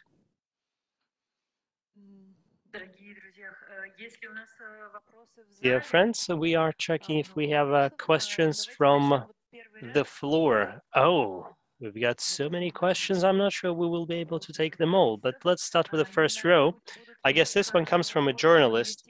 I'm not sure we can actually point the camera at the person who is asking this question. Yes, Sonny, you should be able to hand the mic over. Hello, thank you very much for giving me the floor. My question goes to the panelists. I am wondering what you think about the manifesto of the Venice Biennale. Because it also talks a lot about the future, about cyber technologies, about robots. And I'm assuming that most of you have read this manifesto. So do you believe that you know, Venice Biennale will become a pivotal point? Do you think it will actually promote further development of science art? Thank you.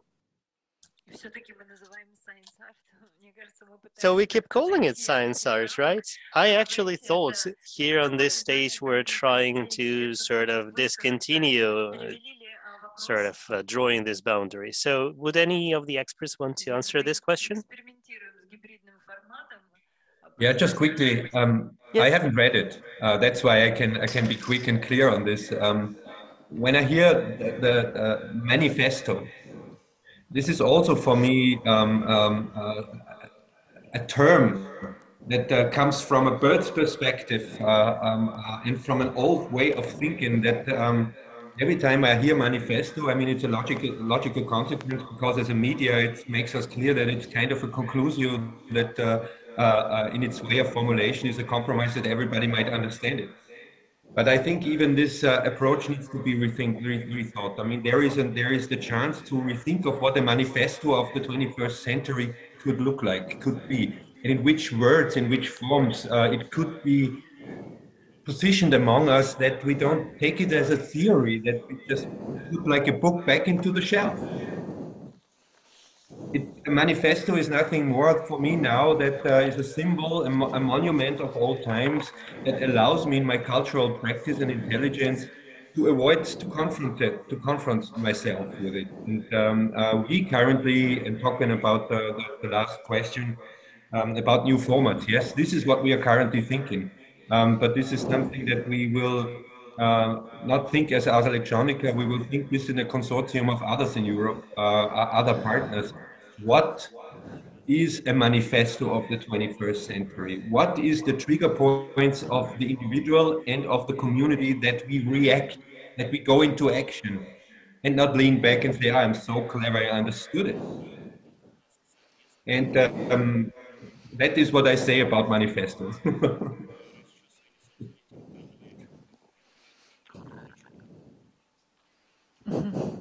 Спасибо огромное, Мартин. Я абсолютно согласна, что нам, да, нужно больше Thank you so much, Martin. And I, yes, I do totally agree that we need to collaborate more.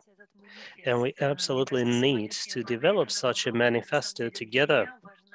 I actually see this panel today as very important because I think it can indeed bring us all together. It can help us voice new opinions and perspectives. And most importantly, I think it can help us collaborate. So a manifesto like this, in my opinion, should call for collaboration.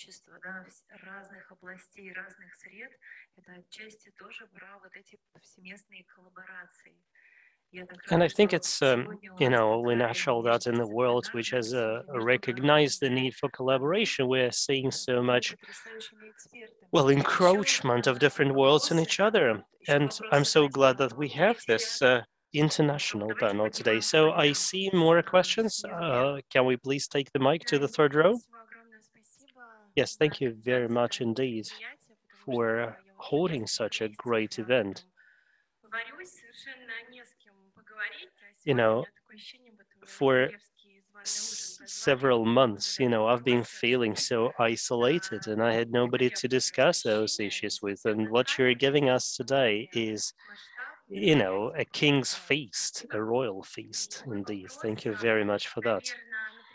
So my question should go straight to Konstantin, but if other experts want to chirp in, I will be very grateful. So a lot has been said today about interaction between scientists, and artists and galleries and museums. But we usually believe that science only exists when we have viewers, when we have spectators,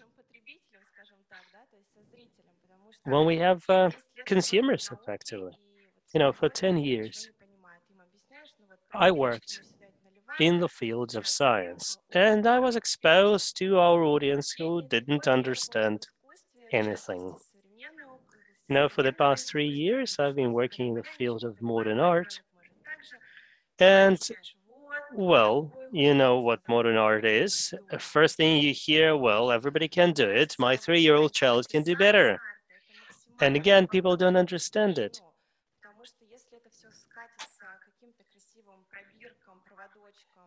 But, you know, as we try to convey our ideas, we, we may find the simple but erroneous route of uh, losing the content, losing the meaning in popularizing it. For example, we can shoot a beautiful movie or we can write a scientifically proven text. Chances are it won't be understood. You know, I'm thinking here, we probably need a second symposium like that uh, because so many good questions are getting raised. Now, what you've just mentioned is bullseye indeed. It is one of the key challenges I see. Like we do have exactly this problem. We want to produce exhibits which will be very often artistically pleasing and at the same time, we want them to be, well, scientifically true. If I can connect now your question to what Daria said when she asked me about design. Now, design is a solution, if you like. And with our exhibits, we're looking for solutions. But in art, you don't necessarily deal with solutions, I'm sorry. Sometimes you're dealing with statements. And this is where we, we try to start. We try to start by saying, or by deciding what kind of statement we want to make, what is that we are trying to convey, and how we can best do it, how we can do it in the most legible way.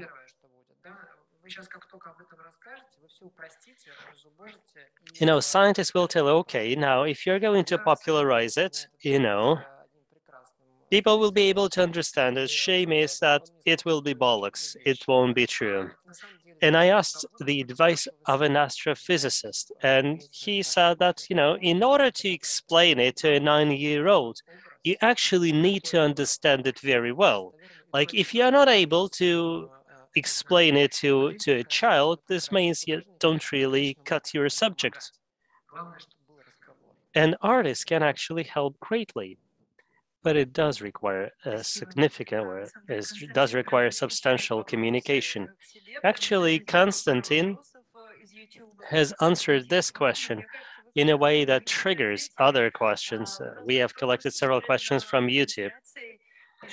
So people on YouTube, please submit more questions. You know, your questions are good and interesting, but be careful. See, some of the questions you are submitting have already been answered. So Sonia, you need to run faster with the mic.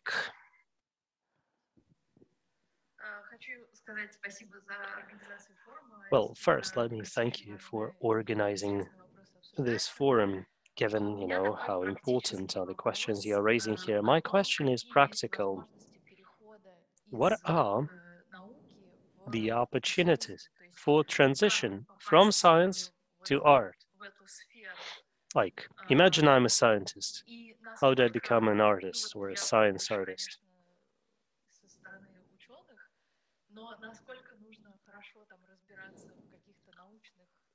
And do I need to have a good command of science if being an artist, I want to do science art? And the inverse of the same question, do I need to know the theory of color? Do I need to know a lot about composition to be a good science artist if I'm a scientist? So what are the entry requirements? Like what are the specific hard skills I will need to have? Or, you know, in order to become a science artist, I just need to bring in a fresh perspective. I need to have, you know, some something philosophical to share, so to speak. Yeah, that's actually a very good question. What are the entry requirements? And it may indeed be difficult for a scientist to become an artist. And some people may feel that it's easier for artists. I'm wondering if Dmitry or Irina would like to take this question. I see Dmitry is raising his hand. Yeah, sure.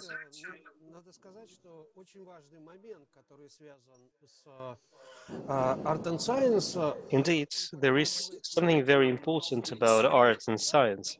Art and science effectively shows to us how we can be modern. What I mean here is that artists working in the field of technology, arts, or science, they actually sit at the intersection of different time coordinates. On the one hand, this person lives in modern times, characterized by very high speed, and it actually requires high speed of reaction and technological adequacy. At the same time, the same person represents centuries old tradition of art, which is oblivious of time as it is. So you can say that a good artist tries to be modern, but also tries to be eternal, tries to make art that will claim its place, you know, in the millennia old artistic tradition. A scientist and an engineer, in most cases, will be future looking and focused on, you know, what's cutting edge right now. While an artist will very often go very long way back to history. You know, lots of artists get inspired by, I don't know, ancient Greek or ancient Roman art. So I do believe that the secret of doing science art or art and science where people have a technical background is effectively their ability to jump out of the window of rationality because you know this framework of rationality is the most important constraint that young scientists and young engineers have imposed on them as they get their initial training. So your ability to jump outside the boundaries of the rational paradigm, outside rationality, is the most important entry requirement. Oh, thank you so much, Dmitry. We have uh, pretty little time left for this extremely important discussion. I see lots of hands in the room and lots of questions online. And even if Sonia runs very fast, I'm not sure we'll be able to do it all. Я думаю, лучше по-русски, чтобы сейчас не перепутались потоки. А, у меня есть вопрос для Юрия. Вы упоминали людей, переводчиков, которые могут быть между So my question goes to Jurij. You mentioned people who can be catalysts or interpreters between the worlds of uh, science and art. What kind of education do you think will be required for us to actually, you know, have more people like that? Oh, that's such an important discussion, right? Jurij? So you, you want Jurij to take this question, right? Yes. okay, well, this is a very um, uh, hot question, I would like to say, because um, um, we just uh, completed one European project where the aim was to create a curriculum for uh, educate that kind of people. Uh, well, it's still in the making. It's uh, the curriculum. It's um, uh, it's not really satisfactory made. Um, however, um, right now we are using um, people that are mostly um, coming from creative industries because they are trained already to um, to be able to think um, very creatively. Um, they know how to make investigations and researches, and uh, they know how to prototype um, things, uh, and they are somehow connected to uh, the real sector already, being uh, the industry producing new uh, solutions or uh, social innovations. Um, However, we believe that uh, um, we need to uh, develop a certain uh, skills to these uh, people that are um, able to deal with uh, humans coming from so-called situated knowledge. Uh, it, they have to possess a certain degree of, of um, psychology uh, and they would need to know how to um, uh, interpret between these egos that are coming from different professional backgrounds. Because usually uh, a situation in a challenge room where uh, we are coming together to solve uh, some uh, um, questions some problems some dilemmas are very much looking like a battlefield and we are speaking um, to each other, but uh, there is no will to understand uh, each other. So this mediating between these different psychologies is super, super important. And this is uh, something that we are trying to find answer to of how to prepare this innovation catalyst to deal in these uh, um, innovation situations. Um, sometimes when you bring uh, um, senior um, uh, senior professionals, it's much more, it's much easier because they are erudites. You know, they know that there is a life behind their profession, you know, as Orkan uh, uh, says. You know, they are not just, I don't know, computer engineer. They are also citizens, uh, activists, uh, uh, fathers, mothers, and, and so on. And um, innovation catalysis is, is sometimes um, um, super um, exhausting process because mediating between between these people um, and uh, taking, extracting from them the best uh, they can is uh, super difficult. And just in order to um, to um, to tell you how we are currently dealing with uh, uh, this uh, challenge, we are developing right now through one year, through STARTS actually, through STARTS project, one collaborative platform where uh, there are interactive screens, like six interactive, interactive screens and a huge interactive table in, in uh, between, that it's um, uh, like a common ground, like a common battlefield, so to say, where there is an artificial intelligence agency employed, that it's constantly interfering uh, as a dialogue partner with everybody else and sometimes it's produced like a total humorous uh, um, proposals, but they, it proved to be super um, fruitful for the debate because uh, the whole atmosphere is there, it's then different. Know? And as we said, you cannot order an innovation. You, the only thing you can do is that you create uh, opportunities and conditions that these innovations come um, uh, ahead, you know. And we are creating actually an, a situation uh, room where uh, we are trying to create the atmosphere.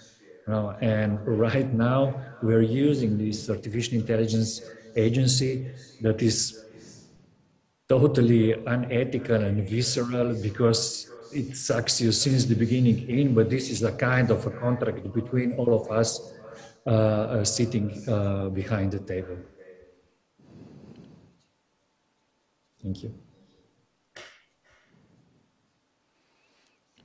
Спасибо огромное. Э, мне кажется, Юрий все больше и больше, и все спикеры все больше и больше идей нам предлагают. Thank you so much. So Jurij and the other speakers are giving us an ever-growing number of ideas, and we still have loads of questions on YouTube. So let's take one question from the floor, and then we'll turn to questions on YouTube. Vasily is an artist, I understand. Hello. I am indeed Vasily. I'm happy to welcome you. My question goes to all the panelists, regardless of uh, which uh, country they represent.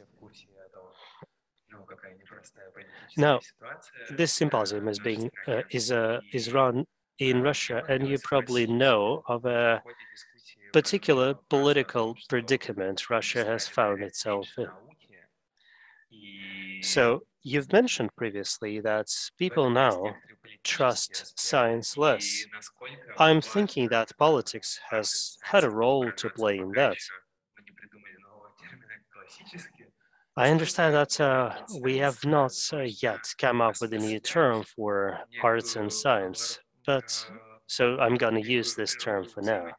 How important is it for arts and science to consider this, you know, exposure to politics, maybe military technologies? And maybe science, arts and science doesn't have uh, to have a particular answer to this question because uh, classic art has been struggling with it for centuries.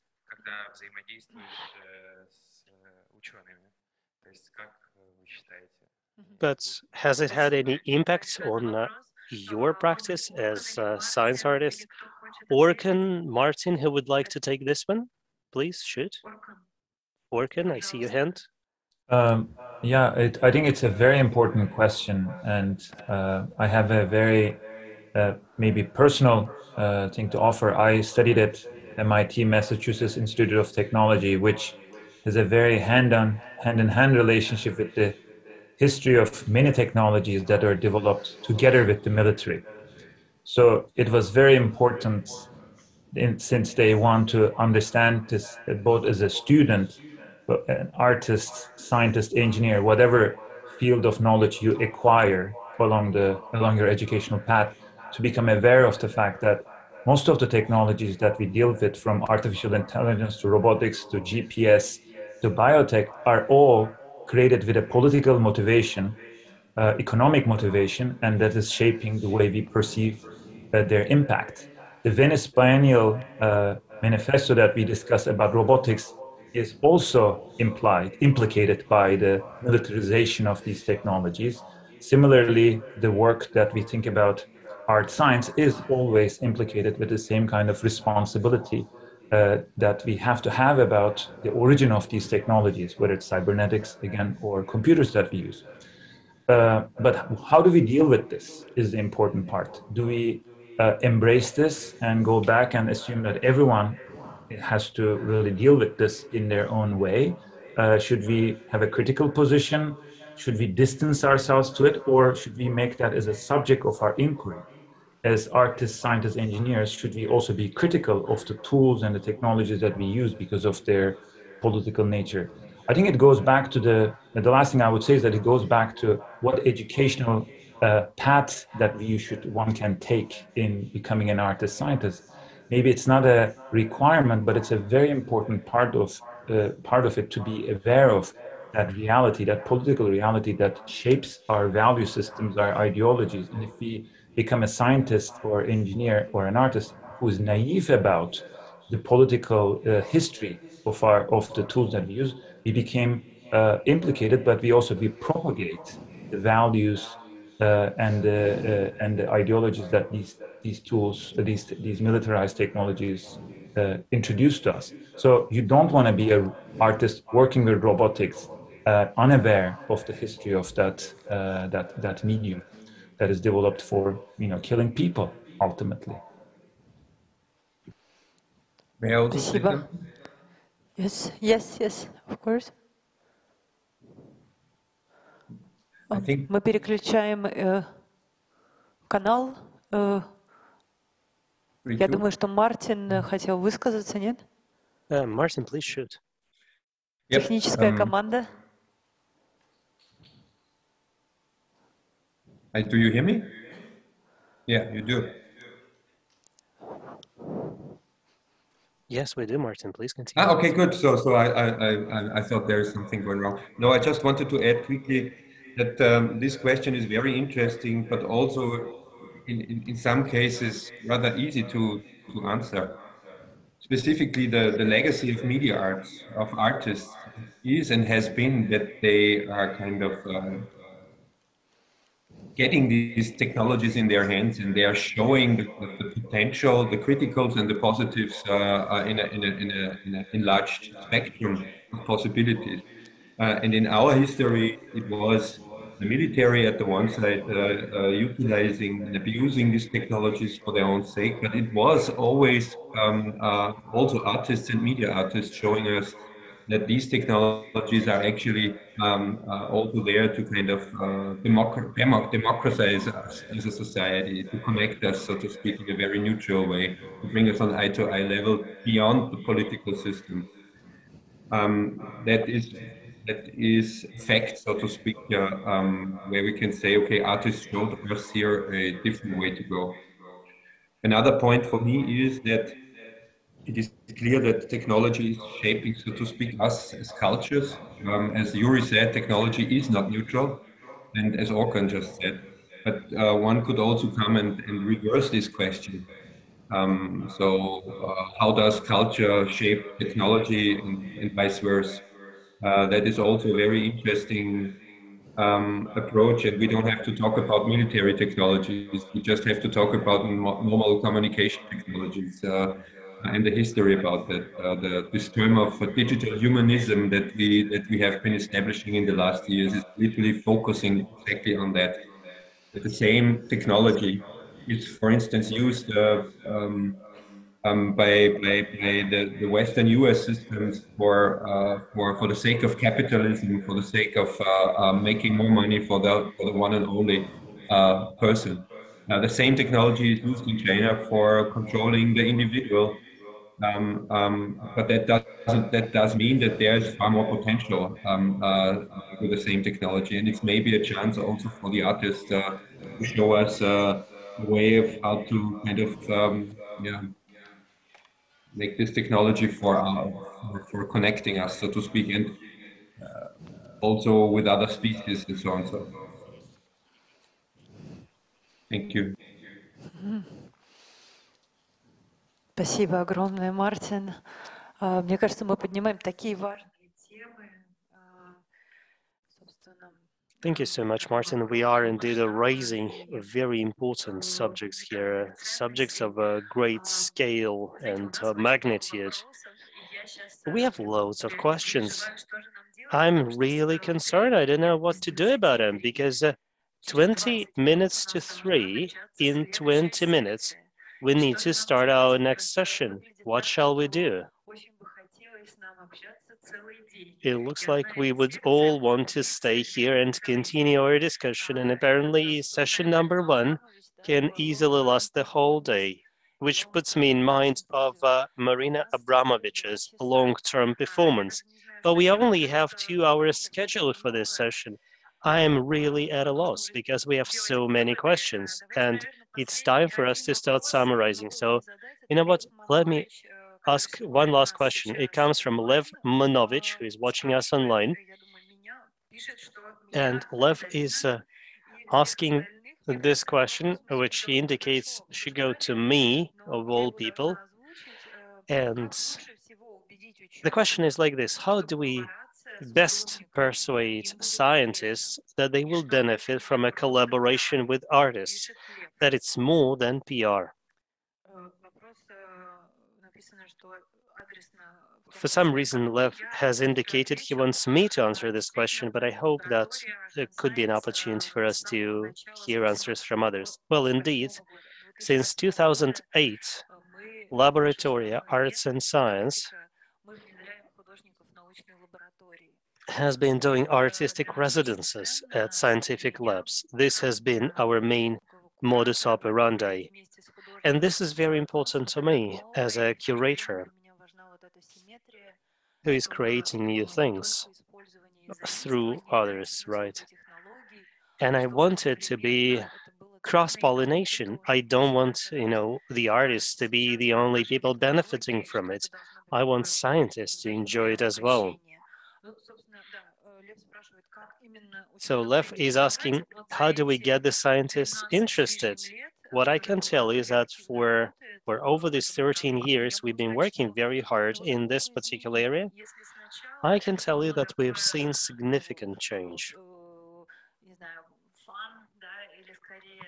Our first projects were pretty much fun-based. You know, scientists found it fun to discover artists and, you know, they saw them as curious. It has changed since then. You know, now they are happy to invite them. They're very interested. We don't really need to do much to get them interested. And a very important thing has already been mentioned. You know, very important outcome for them, for the scientists, is not the product, but the process. They say they appreciate this process which generates new ideas. And this is what, you know, Ars Electronica, and I guess all our panelists have seen for themselves and are actually doing on their own. You know, this kind of collaboration is conducive to new innovation. So naturally, scientists today see value in it. They see value in, well, artists being seen as experimenters and thinkers, working hand in hand with them. Well, it's well known that at many schools, say, of uh, biology or synthetic biology or physics, they now have vacancies for philosophers or artists who will be involved in the education like teaching process there and they will be helping graduate and postgraduate students wrap their minds around what the scientists are doing. I hope I've been able to answer Lev's question. And yes, I do believe that in 2022, it's much easier than before. You know, very often scientists get in touch with me and tell me, how can you help us bring artists into our labs? Now, I think there was another important part of this question, like how do we do it without it being seen as PR? This is indeed important. Because, you know, if we're totally frank about it, what we have been seeing lately has often been pretty much a PR stunt. You know, some scientists want to attract additional eyeballs. You know, they want to have some hype around what they do and they hope that artists will help them with that. And I understand that this temptation can be so strong that eradicating it completely may not be an option but at least making sure there are other motivations besides PR would be important, right? So what I'm trying to say here is that, you know, scientists may be thinking, okay, this would be a good PR stunt, which uh, will make me, you know, more well-known, more prominent, and will possibly help me raise more money for future studies, which actually is not that bad of a motivation. And I do understand that this is something that, well, may be difficult to change, right? But in any case, I'm thinking that, you know, if uh, both actors are inspired by a particular idea, this inspiration can be a very important spark which will help the two develop a relationship of trust.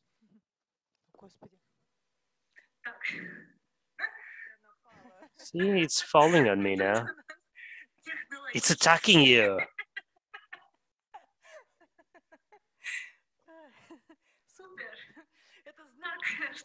I think it's a sign, guys, that you know, if we continue enjoying ourselves here, we will be stealing time from the other sessions. It's a shame. It's it feels really painful to stop this session. I see Irina's hand is up. Irina? Yeah, let me jump on this bandwagon real quick to respond Lev's question. You know, scientists are usually interested in publications in peer-reviewed magazines. And they may be interested in very specific innovations in the methods they are using or the tools that they're using. At least this is what my uh, four years of collaboration with the Institute of Physiology have taught me.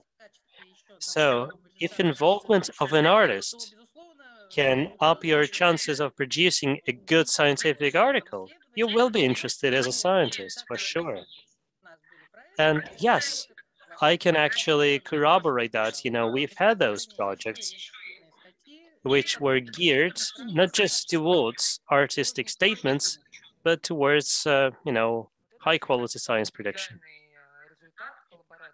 Oh, that's actually an ideal outcome of collaboration, right? When you produce both a scientific article and an artistic statement. Yeah, but the question is, does that happen often? What I know as an example is Symbiotica, silent barrage, right? I think everybody knows this one. You know, it led both to a scientific article and a good piece of art, but there have not been too many cases like this, if you ask me. So I do believe Annie is right, that mutual trust is extremely important. I think it's impossible to mass produce science art collaborations. They only work out when there is chemistry between the artist and the scientist. You know, it's a matter of, you know, it's a it's a matter of uh, well being personally engaged. I do believe that mutual trust and respect play a very important role. You know, when I bring scientists to a gallery or an artist to a lab, I try to make it clear that, well, I want to start a chemical reaction. And I'm looking for this first spark in the eyes. Now, the process that has been mentioned here a number of times is indeed very important. Both scientists and artists are interested in cross-pollination. Dear friends, I'm sorry, we have to start wrapping up. I am totally amazed and I'm so much touched by your participation and your contributions. It's such a pleasure to have you both physically on the stage and online. I understand that you are in different countries and in different cities, but we can actually feel your energy, your engagement. We can feel your fire burning, you know? And it's it's so precious indeed. So I do hope that this discussion will impact many minds and hearts. It's uh, pretty difficult for me to actually summarize this discussion, though. We are here in a process of transformation. This transformation will continue. And I think it's very important for us to stay united. You know, a lot has been said earlier today about uh, humanistic values. Indeed, these values are of absolute importance to us. The value of peace, no war ever the value of science, the value of art, the value of creator and the act of creation. These are the things that we all share, I guess. Thank you very much again. I have no clue really how to end this discussion. Let's just wave at each other, shall we? And uh, let's stay in touch, okay? I hope we will be able to meet each other physically, not just online. If you have any short words of farewell, it's absolutely okay to chip in. Uh, Just thank you. Thank you so much, guys. Thank you. Thanks to all the participants, and I hope to see you soon.